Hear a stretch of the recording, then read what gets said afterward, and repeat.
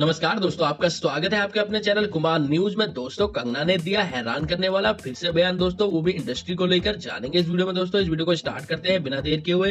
दोस्तों, कंगना ने सुशांत राजपूत का साथ देते हुए उनकी मौत का साथ जानने की एक मुहिम चला दी है। दोस्तों, इस बारे में बात करते हुए कंगना ने एक इंटरव्यू में कहा, मैं जानती हूँ की सुशांत और आदित्य चोपड़ा के बीच बहुत ही बड़ा झगड़ा हुआ था। अपने एक्सपीरियंस बांटते हुए कंगना का कहना है की मैंने जब आदित्य चोपड़ा की सुल्तान रिजेक्ट की थी तो उन्होंने धमकी दी थी की वो मेरे साथ कभी काम नहीं करेंगे। तब से ये पूरी इंडस्ट्री मेरे खिलाफ गैंग बनकर काम करने लगी।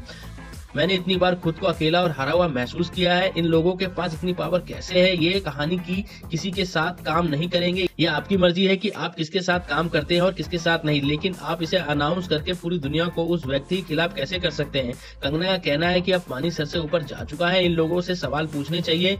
इनके हाथ खून से रंगे हुए इसका जवाब देना चाहिए। मैं किसी भी हद तक जाऊँगी इन लोगों को एक्सपोज करने के लिए। तो दोस्तों, आपने सुना कंगना का बयान। दोस्तों, उन्होंने एक हैरान करने वाला बयान दिया और साफ़ तौर से कहा कि आदित्य चोपड़ा और सुशांत के बीच बहुत बड़ा झगड़ा हुआ था दोस्तों, जिसकी वजह से आदित्य चोपड़ा ने सारी फ़िल्में उनसे ले ली थी और दूसरों को भी मना कर दिया था तो दोस्तों, अभी तक ये बात कितनी सच्ची है, इसका कुछ पता नहीं चला। आगे चल के कितने खुलासे होते हैं दोस्तों, इसका भी नहीं पता। तो दोस्तों, हमारे चैनल से जुड़े रहिए। जैसी कोई लेटेस्ट अपडेट आएगी, हम आपको सबसे पहले देंगे। इस वीडियो में इतनी जानकारी, दोस्तों, अपनी राय और कमेंट ज़रूर दीजिएगा। इस वीडियो को लेकर हम आपको मिलते हैं अपनी नेक्स्ट वीडियो में। धन्यवाद।